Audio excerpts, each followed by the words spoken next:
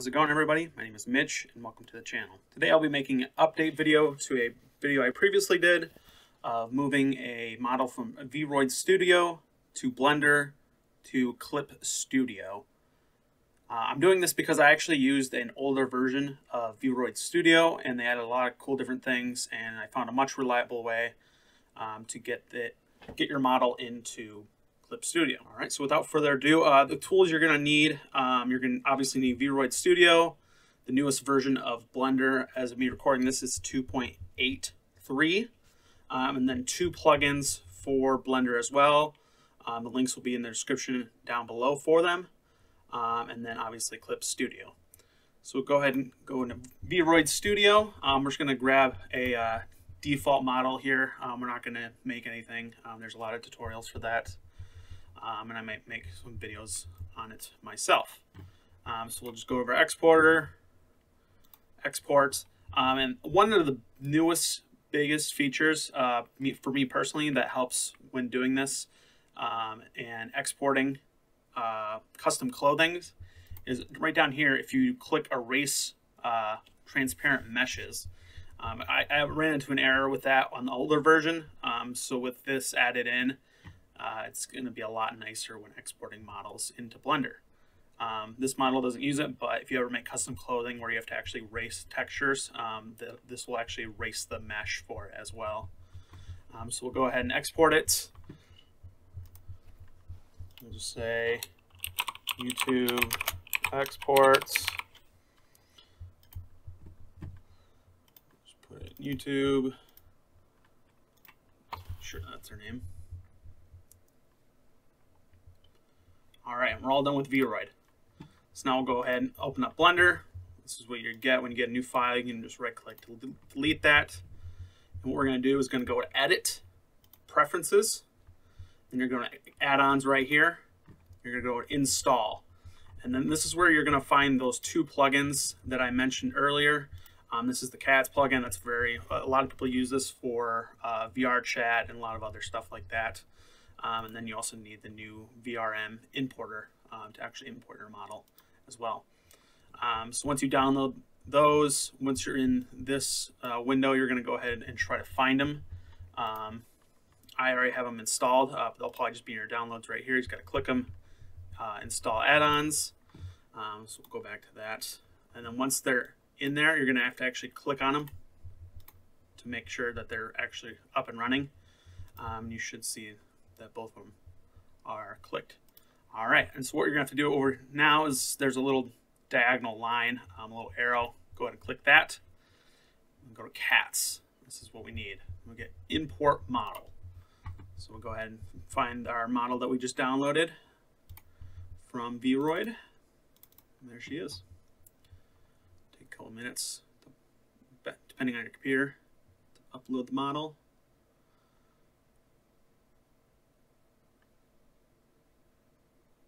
Usually doesn't take this long. Must be a little bit more complex than usual. There we go.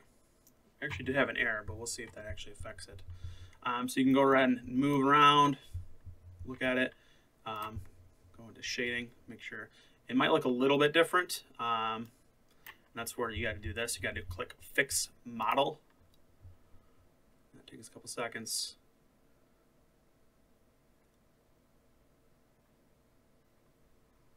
Should look a little bit better.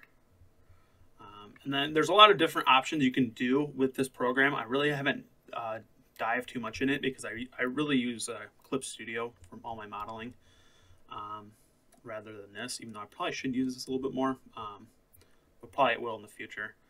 Um, so that's pretty much it. Now we just have to export it, continue to export. Uh, we'll go back to where we kept her. Um, call her girl uh, FBX. Export the FBX. Now, a lot of people have been asking uh, in the comments, why don't you just use cats and why, why even bother with Modeler?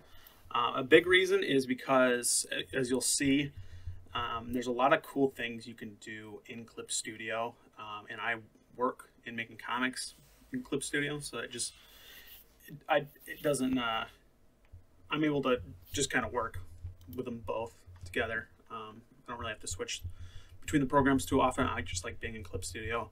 Um, and the big reason is you can actually download a lot of customizable poses um, and kind of hotkey um, your own custom poses. Uh, that makes uh, moving around your model a lot easier. So now we'll go ahead and open up Clip Studio. We'll go ahead and open up Modeler. Um, you're going to want to make sure the 3D character is selected. It should start on that for the first time. Um, just make sure you switch to that.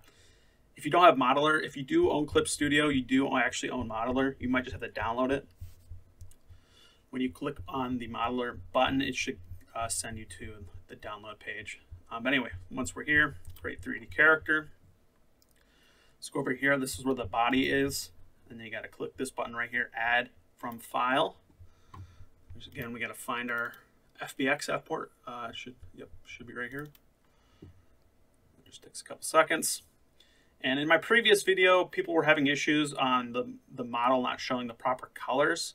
Um, with this, it should not be any issues. Um, her hair, unfortunately, I, I, have had issues with the hair coming over. Um, that's the only, but for bringing it into Clip Studio, um, you're probably going to be coloring on top of it anyway. Um, but I'll, I'll, still try to look into how you can fix it. Um, for now, the hairs are like usually always white. Sometimes you can get lucky, uh, and it's kind of hit or miss every now and then. All right, so we have the model in here. Uh, we're going to go over here and click Use as Complete Character. That really doesn't matter, I learned. Um, I just do it anyway.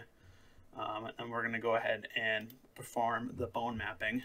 Go ahead and press OK. So basically what we're going to do is we're just going to rig this uh, to a kind of default uh, modeler rig. And we just got to show where everything is. So you kind of just follow along. Uh, please uh, specify head. So usually on small, on more basic models, uh, they'll just have like one bone up here. If you just click any bone, pretty much uh, that's on the head, it'll kind of understand and see it. Um, so now we got to click the right arm. It's telling you this one. It's right there.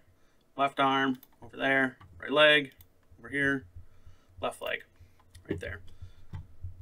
Click next and it's completed. And then so basically you just kind of want to do this, make sure kind of went properly. Yeah, your skirt's not the greatest um, with this. Um, usually just works better with uh, basic uh, models. Um, so go ahead and press complete. Um, and that's pretty much it uh, for Modeler. There's also a lot of cool other things that I've been doing my, uh, myself personally is if you go over here into accessories, you can actually import other FBX uh, models and kind of just put accessories on them that really helps you uh, when you're drawing over them or whatever purpose you're using them for in Clip Studio. Um, but now that we have this model set, I would recommend saving it um, so you can go back into it and edit it, or if you ever move your computers um, or whatever reason, you can uh, get to it pretty easily um, but register as a new material. Um, we'll just name her YouTube char.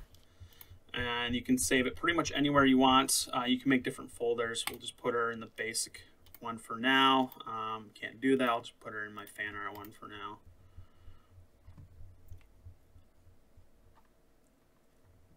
second. All right, looks like it should be good. We can exit out. Again, I would recommend saving it if you're going to go back and edit it ever. Um, so now if we open up Paint, we'll look at how to add the different poses and why it's definitely worth the time to learn how to do this. So go into fan art, uh, our YouTube care. All right, there she is. Her arms are down, so that means it worked. Um, so another thing I found if you're using uh, Clip Studio, especially the 3D tools, uh, if you notice, you kind of it's kind of juddery. I have a pretty high-end computer. It's a gaming PC. Um, so it really, I was always kind of shocked on why it kind of did this. I don't know. I was always so very confused. I just thought this program wasn't optimized very well. There's a button right down here that switches uh, enable and disable physics simulation. I don't know what it's emulating because uh, it doesn't really do much. I tested some physics but anyway, if you cl click it off, it's like super smooth. It's way smoother. I don't know if it's going to pick pick up um, in the video, um, but if you have a lower end computer and you're using 3D models uh, in Clip Studio, I would definitely recommend turning that off. I'm going to try to see if there's a way you can actually just turn it off by default, but it's been a lot helpful. Um, so we have the model in 3D um, in Clip Studio. Now, the biggest thing here is we can get models. So it comes with a lot of different poses with Clip Studio, uh, a lot of free ones, um, but the best ones are always going to be downloaded. So I don't have too many right now, um, but pretty much if you go back to the store here, um, you can do Clip Studio assets and you can just type in whatever pose or whatever anything else that you might want. Um, pretty basic stuff. They'll probably have it um, a little bit more complex. You might have to um, move and make yourself, um, which is which is pretty easy as well too because they, they come with a lot of cool features. Um, you might be able to use um, Blender just as well, but this is pretty more. I think this is much more intuitive than Blender kind of is. but anyway, so we, we can just grab any pose. Let's drag and drop her in this pose. So just kind of clipping the floor there can go ahead and scroll back, move her up, scroll around, zoom in. Yeah, pretty much you kind of just have to adjust it because it's not gonna, always going to be perfect. Um, that's pretty much it.